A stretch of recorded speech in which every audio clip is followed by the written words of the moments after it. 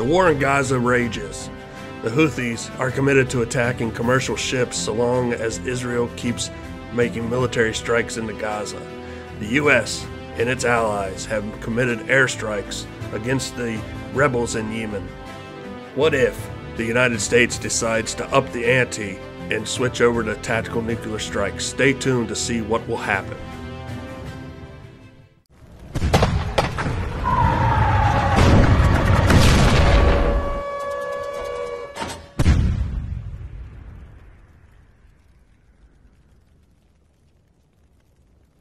Welcome to Magnus Division. Please remember to like and subscribe to view more content like this.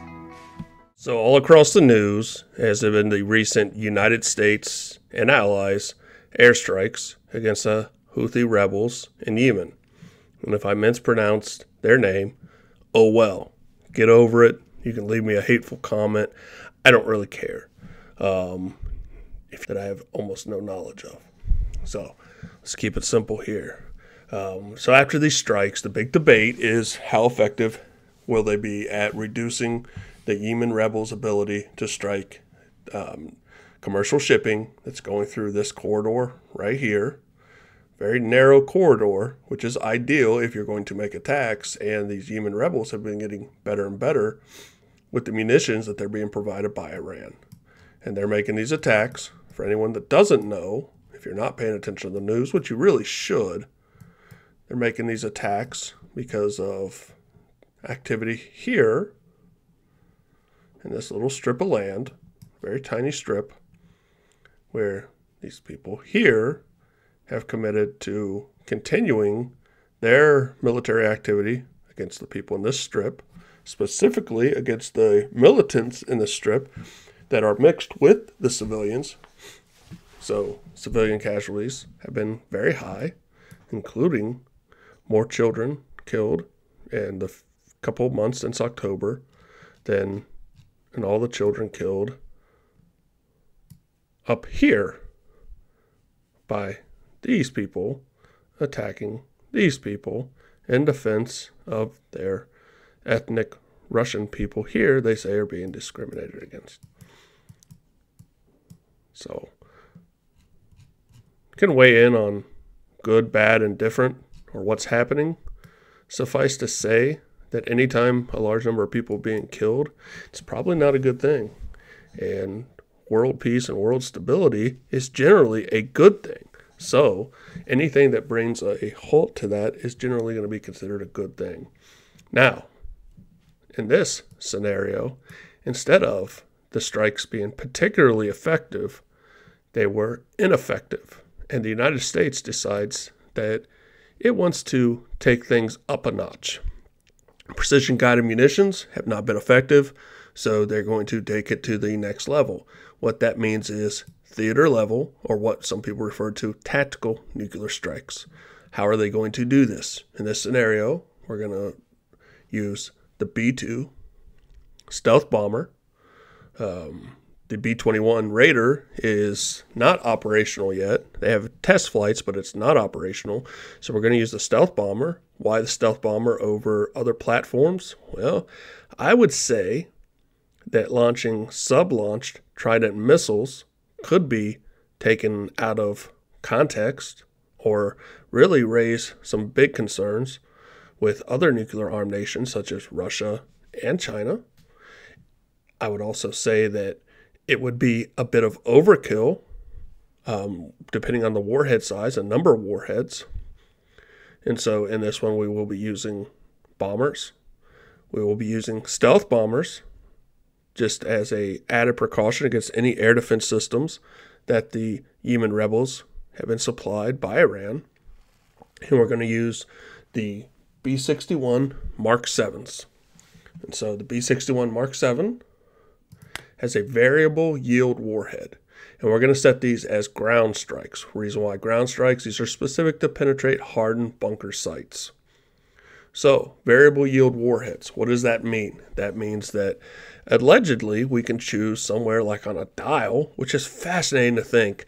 Nuclear weapons, you can just click a dial and say, you know, yeah, do I want this many number of people dead, or do I want a medium number of people dead, or do I want a crap load of people dead?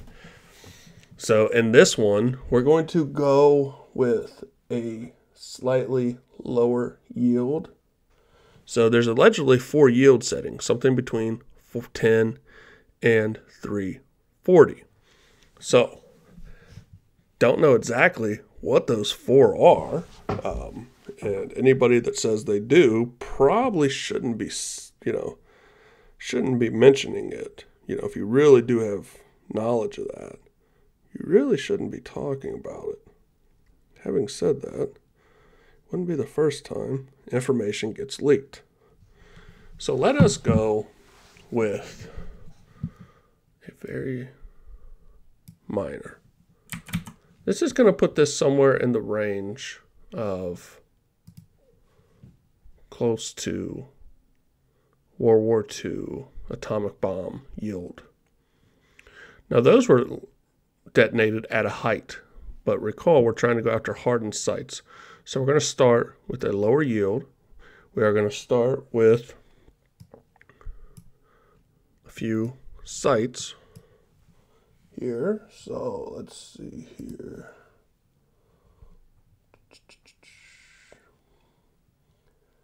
To my intense amount of research, which is about 15 minutes, give or take. No, I'm just kidding about that. But so we're going to place one here. Then we're going to place a second one. Each of these are going to receive two strikes.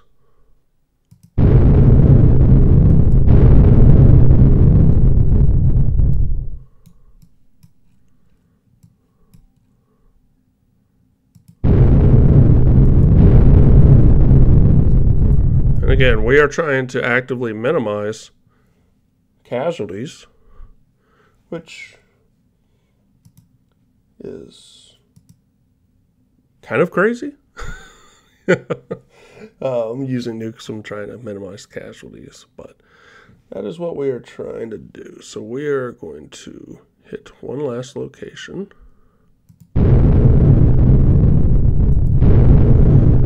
Okay. So we have crossed the nuclear threshold for the first time since 1945. We have made several strikes against these strongholds. And let's see, what is the civilian casualty fallout going to be? Remember, these are ground strikes. We're trying to minimize the amount of civilian casualties. Let's see, fallout dose. So, based on winds and everything, you do have a certain amount of fallout and everything. That's inevitable. 497,068 people. So right there you have surpassed. And again, when I say surpassed the number of casualties in the Ukraine war that's been going on, you know, almost to the two year mark now. Well, the exact number of casualties is unknown, but so it's obviously going to be surpassing that point, even by the highest estimates.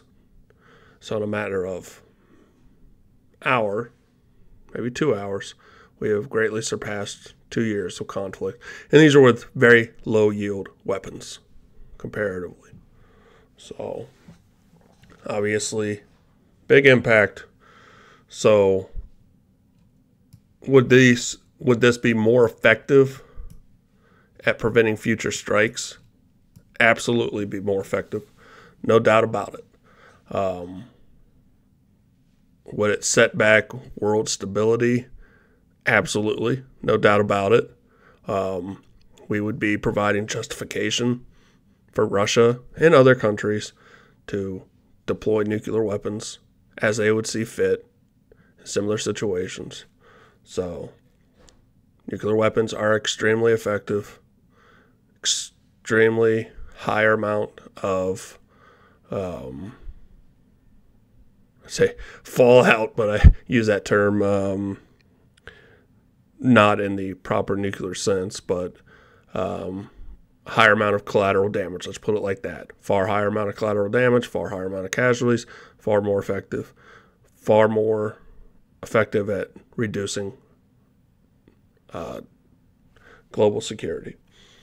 Um, because, as we've seen, justifications for a lot of actions have been based upon previous actions by the United States and coalitions. So, our actions when it came to Serbia and Libya has been used as a justification for actions in Ukraine and Georgia and um, you know Crimea Peninsula, which is part of Ukraine or was part of Ukraine, now part of Russia, um, to be specific. So that's that. Um, if you're interested, we can kind of look at what happens if these were slightly higher yield.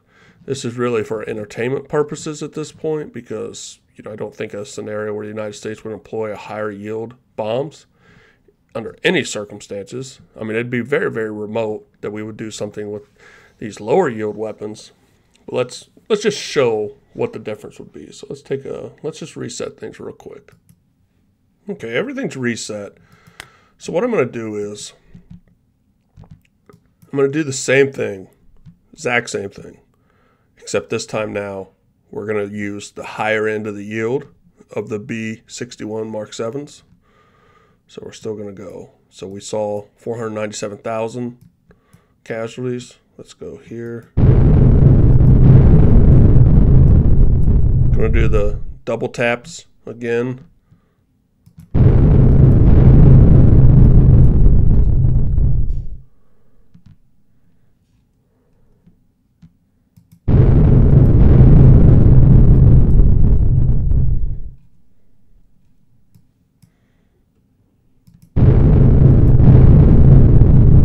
keeping them relatively close.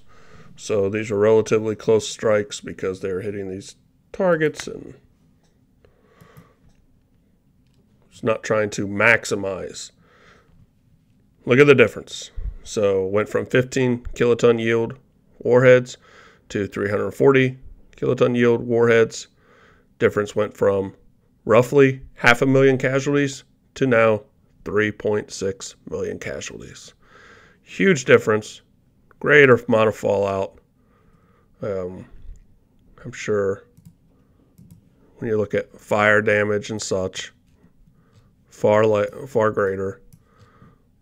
So that's the risk with nuclear escalation. Casualties just go higher and higher um, as the yields go higher and higher. Thankfully, since the height of the Cold War, yields have increasingly went down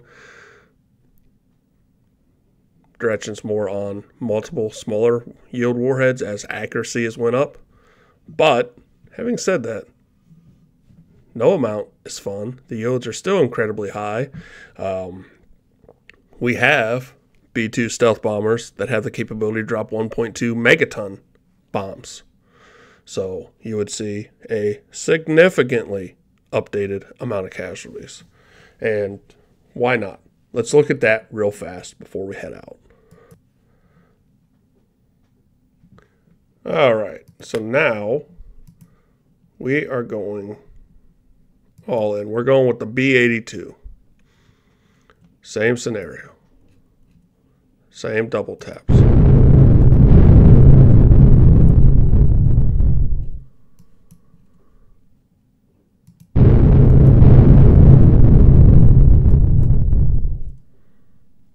You just hear the difference.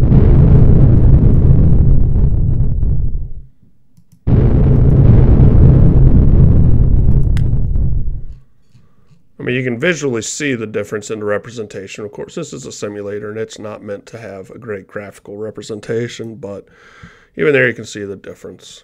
Let's take a look. So, there's a level of diminishing returns here. We see that the jump from 15 kiloton to 340 kiloton rose the casualties from uh, roughly half a million to 3.6 million. Now, the jump from 340 kiloton to 1.2 megaton jump from 3.6 to 5 point, basically 5.6 million. Um, you know, clearly, a there's going to be a limitation of the population size in the city that can have it. You know, you can only kill as much people as you have there. So that's when you get into overkill, to quote some old rock band name. um, but you get into overkill and also a diminishing level of return. Um, so let's look here. Let's take it off fire. Yeah.